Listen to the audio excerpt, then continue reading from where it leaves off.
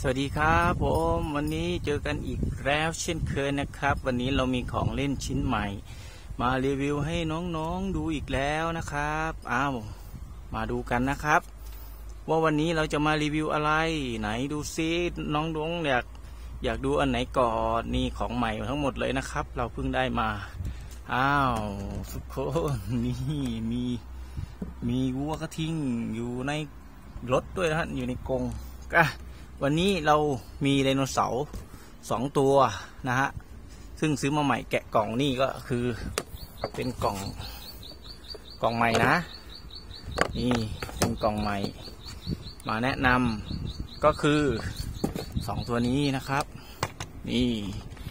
ว้าว เหมือนกันเลยฮะฮะแต่คนละสีอ่านี่เป็นไดโนเสาร์ตัวใหม่ของเรา แล้วก็ตรงข้างล่างนี้ จะเป็นช่องใส่ถ่านนะทุกคน ก็เอาถ่าน AA สามก้อนนะครับ ใส่เข้าไปนี่ก็ตรงนี้ก็เป็นสวิตช์เปิดนะครับนี่ฟังเสียงเดินได้นะครับ มีไฟอยู่ที่บนหัวตรงนี้เลยนี่มีไฟหลากสีด้วยนะนี่เดี๋ยวเรามาเปิดทุกสองอันนี้เลย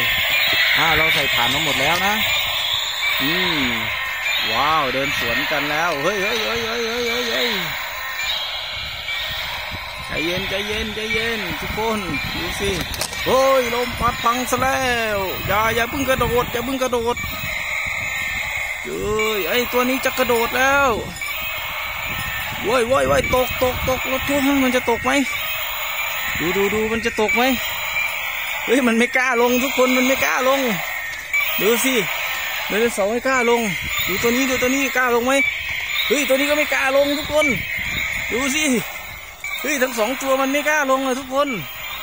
ดูดูขามันดูขามันกลัว มันไม่กล้าเหยียบ เห็นไหมมันไม่กล้าลงมันกลัวตกเฮ้ยไอไดโนเสาร์สองตัวนี้มันเหมือนกันเลยว่ะเฮ้ยเฮ้ยเฮ้ยเฮ้ยสงสัยมันกลัว มันกลัวความสูงทุกคนอยู่ดิมันอยู่บน บนแค่ไม้สูงเลย เฮ้ย แปลกใจจริงเนาะดูขามันไม่กล้าเหยียบเลยอะเฮ้ย แจมเลยไปไปหากัน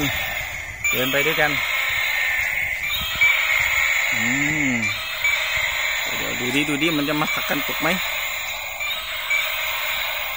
เอาเอาเอามาเบียดมาเบียดกันแล้วมาเบียดกันแล้ว มามาข้าโอ้โหล่วงแล้ว โอเคนี่มีเพื่อนๆมา สมทบกันแล้ว โอเคทุกคนฝากไว้แค่นี้ก่อนแล้วกันนะครับ เดี๋ยวจะรีวิวชิ้นใหม่ให้ดู อย่าลืมกดติดตามด้วยนะครับ สวัสดีครับ